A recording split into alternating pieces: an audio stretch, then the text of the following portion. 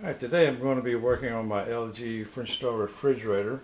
It's got um, ice building up in the bottom of the uh, freezer. I've already got it all cleaned out, but anyway, this down here was uh, pretty much filling up with ice, and so more than likely what I've got is a block uh, drain line, I guess, and now what's causing that, I don't know, but um, so I'm getting ready to do this. I've already got the freezer out, got it turned off.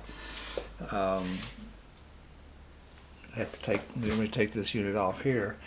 And there's a couple of screws uh, on each side here. We put that in there and we take that out. And it allows us to pull the pull this uh, piece off.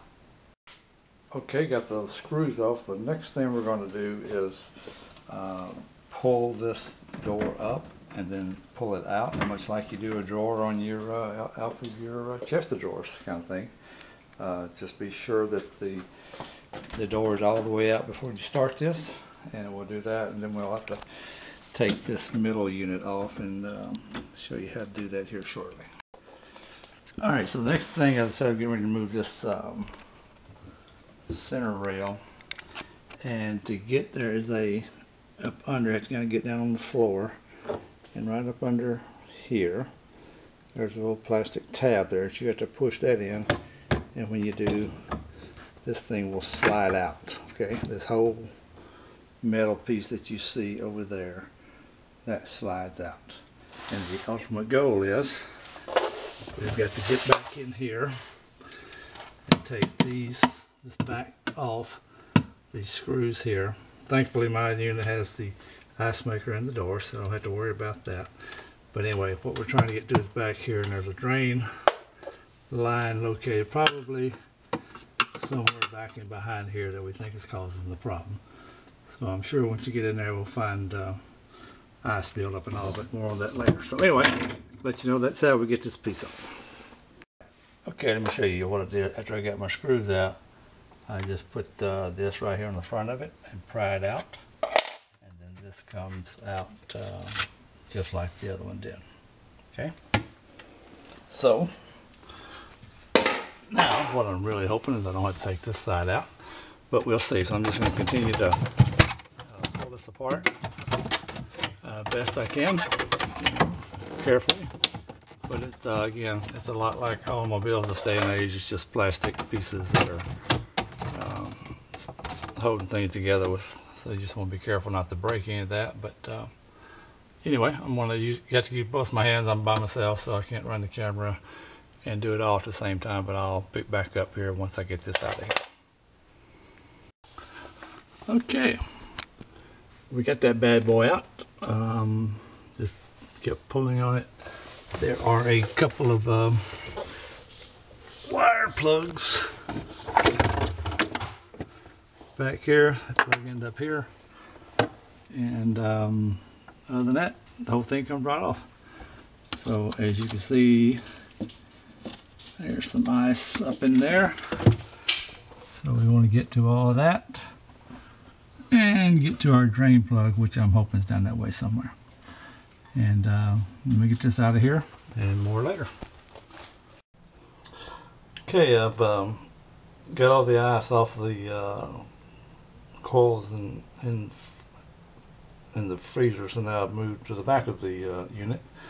And so this is the um, drain line here sitting just to the side of this condenser. And so it's supposed to be draining down into here. And there is water in the bucket there not a whole lot but there is some in there. So uh, I suspect I've got ice all the way up into here uh, as well. So I'm gonna try to thaw that out. And then I'm gonna also clean all these coils off while I get this thing apart. So it's been a while looks like and uh, we'll see what happens. We'll put it back together hopefully here shortly. And if I run into any problems, I will let you know. Alrighty, quick um, quick update. I've um, been unplugged about an hour now, so I was able to get all the ice out. There was uh, quite a bit, as you can imagine, you know, up under here. So that, uh, gotten all that out.